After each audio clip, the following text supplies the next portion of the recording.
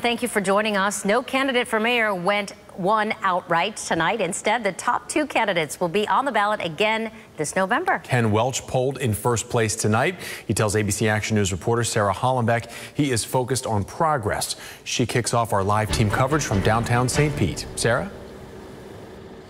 Well, as we know, the city of St. Pete continues to grow, and Ken Welch tells me his top priority is making sure that no one is left behind as that city grows and flourishes, and that they can continue to afford to rent, live, and play here in St. Petersburg. Ken Welch has actually spent the last 20 years serving on the Pinellas County Commission, and now he wants to take on the mayor's role. He thinks that he would be a great person to make sure that all of our neighborhoods stay safe, there's affordable housing, and equitable equitable growth. Leading up to tonight, Welch drove over a thousand rides for Uber and Lyft, getting to know St. Pete residents. If elected in November, Welch will be the first black mayor in St. Petersburg's history. The reality is we're still breaking barriers in 2021, and I'm looking forward to the day when we're not breaking barriers anymore. But it has significance. I'm a, I'm a child of the gas plant. You know, my grandfather's woodyard was where Tropicana Field is. So it is significant that now, you know, I have the opportunity to lead this city.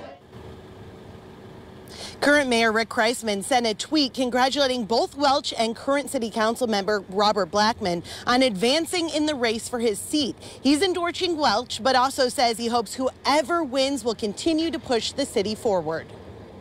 I think every elected official that serves in this capacity hopes that whoever comes after them will build on the things that worked and fix the things that didn't work. Uh, you know, and look, we've made we've made great strides here in St. Pete, but there's a lot of work to do still.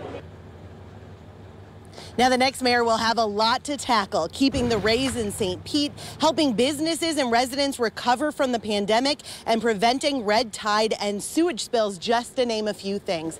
And tonight, just 29% of voters cast a ballot in this election. So both of those candidates plan to really work to get out the vote coming up in November. Reporting live in St. Pete, I'm Sarah Hollenbeck, ABC Action News.